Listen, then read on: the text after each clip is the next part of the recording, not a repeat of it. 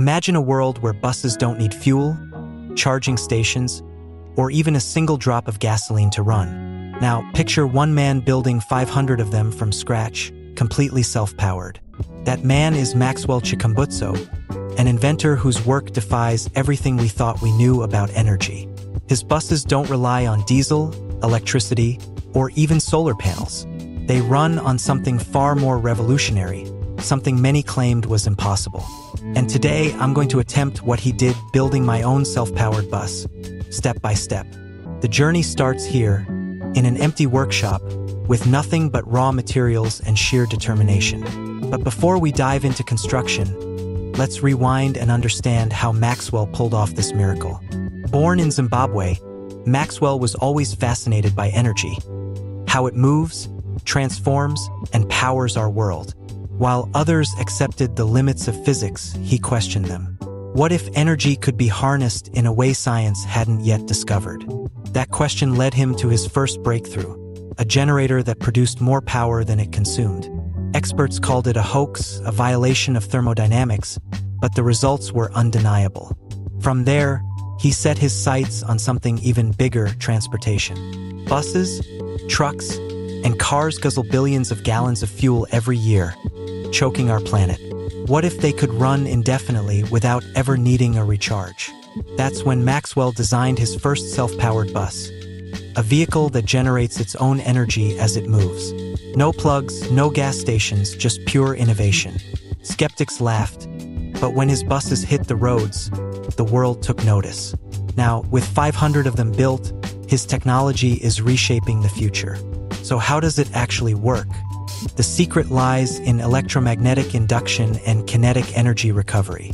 As the bus moves, its wheels spin a series of high-efficiency generators. These generators produce electricity, which powers the motor, creating a closed-loop system. The faster it goes, the more energy it generates, making it theoretically limitless. Of course, physics says energy can't be created from nothing, and Maxwell agrees. His system doesn't create energy, it taps into underutilized forces already in motion. Think of it like a windmill, but instead of wind, it uses the bus's own movement. Now, let's break down how to build one. First, you need a sturdy chassis, the backbone of your bus.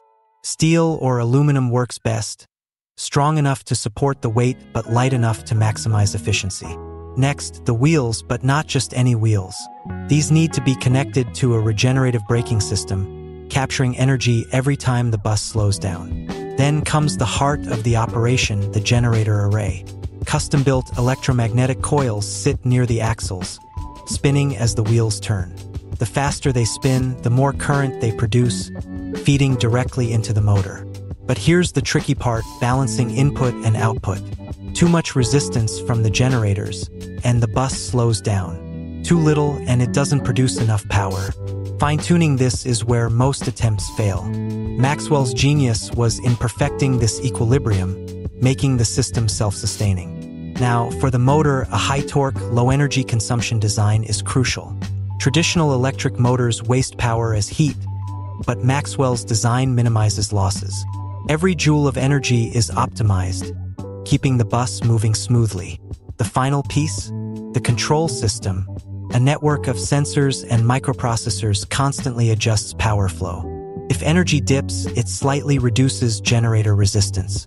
If there's a surplus, it stores the excess in ultracapacitors for later.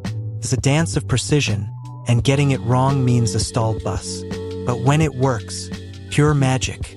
Now, let's talk about the moment everything changed for Maxwell. After years of prototypes, his first full-scale bus was ready for testing. Critics gathered, expecting another over Unity scam to debunk. The engine hummed to life, no fuel, no external power source.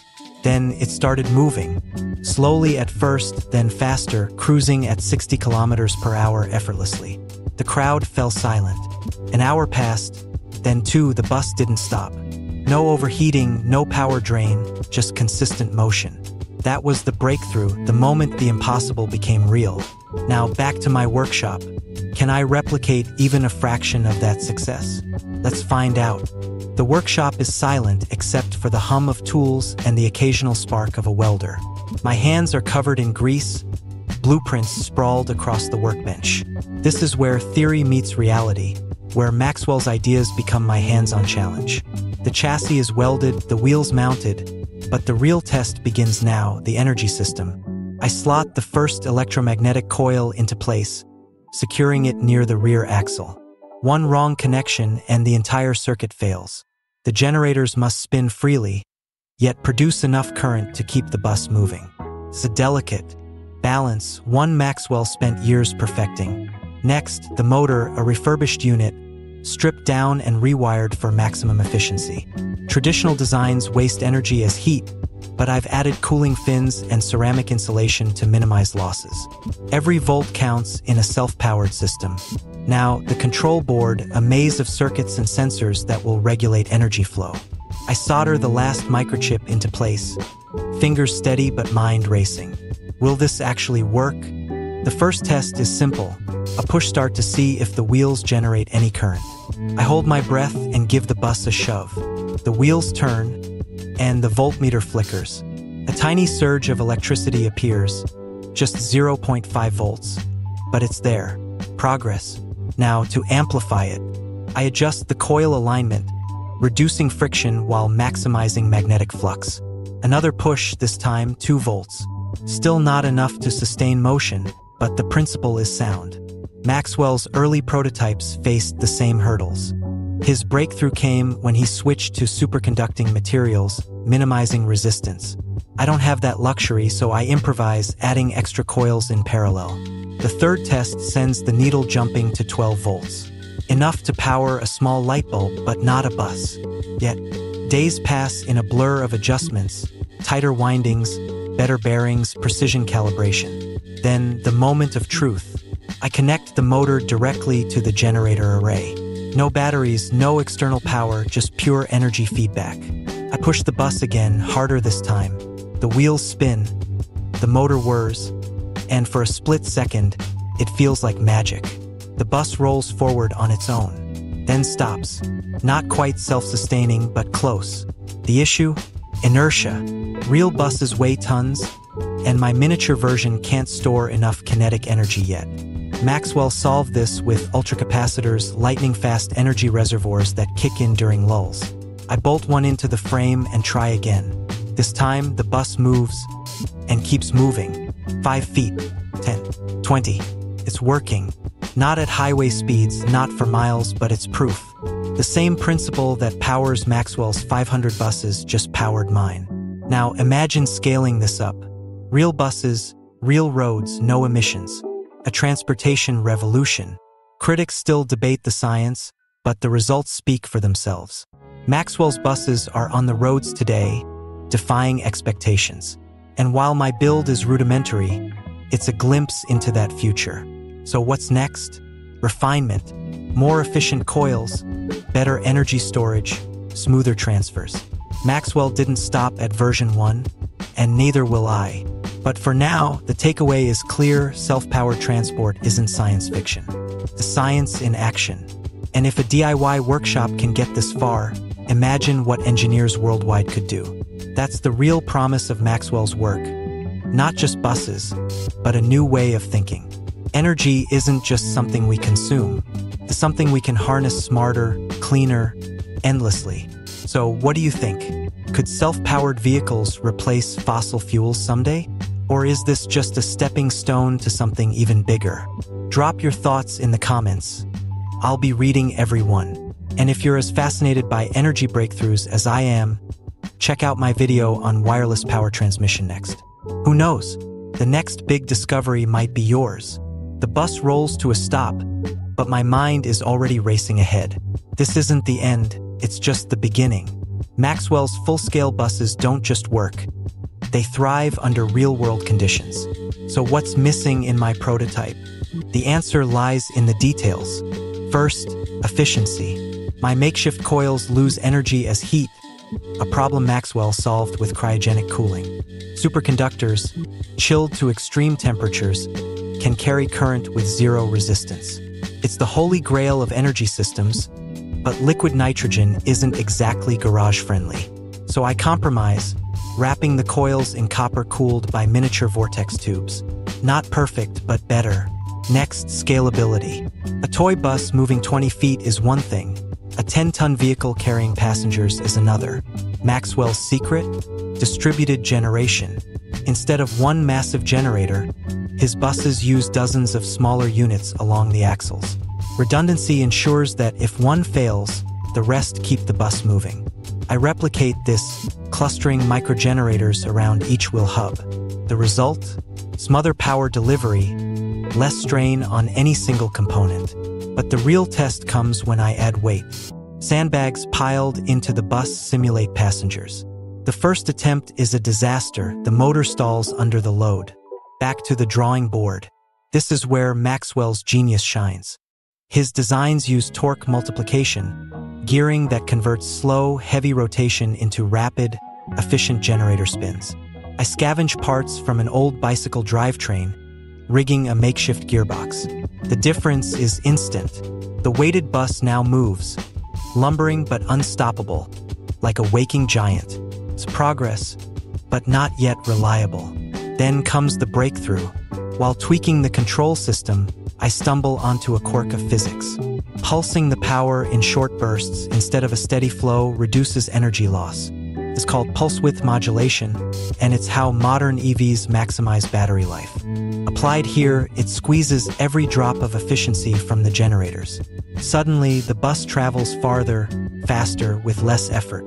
This must have been what Maxwell felt like the euphoria of a puzzle finally clicking. But the road ahead is still long. Real buses face hills, rain, potholes, conditions no lab can fully replicate. Maxwell's team reportedly tested their vehicles on brutal inclines, in scorching heat and freezing cold. Each challenge forced another innovation. Self-adjusting suspension, hydrophobic coatings for the generators, even AI-driven power distribution. My workshop can't match that, but I can push further. I take the bus outside, onto a slight incline. The first attempt fails, the motors whine, struggling against gravity. But with a gear ratio adjustment, the second try succeeds. Slow, grinding, but undeniable.